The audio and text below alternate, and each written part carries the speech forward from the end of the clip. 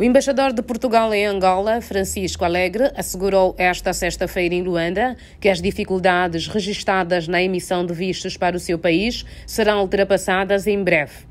Em declarações à imprensa, no final de uma audiência com a Presidente da Assembleia Nacional, Carolina Cerqueira, o diplomata desmentiu haver qualquer interesse em dificultar a emissão de vistos para angolanos. No âmbito do protocolo de facilitação de vistos, vamos também trabalhar no sentido de agilizar mais ainda. O diplomata, que falava a propósito das enchentes à porta do consulado de cidadãos angolanos à procura de vistos de entrada, disse desconhecer esquemas que visam tirar vantagens financeiras resultantes dessa procura. Quanto às alegações, insinuações, eh, etc., não passam disso.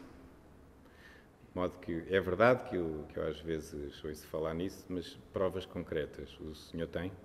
Conhece? Pois, mas isso, o diz que disse. Hum? Se conhecer alguém que tiver uma prova concreta, uma denúncia concreta, eu agradeço que me, que, que transmita. Confirmou que a União Europeia tem limitado os vistos de curta direção e que os governos angolano e português têm trabalhado para tornar mais célere a emissão de vistos de longa duração. Por outro lado, o chefe da missão diplomática portuguesa afirmou haver também muitos portugueses à espera de visto para Angola. Entretanto, também hoje, a presidente da Assembleia Nacional recebeu o embaixador da Bélgica em Angola, Joseph Smets, com quem abordou matérias de interesse dos dois Estados.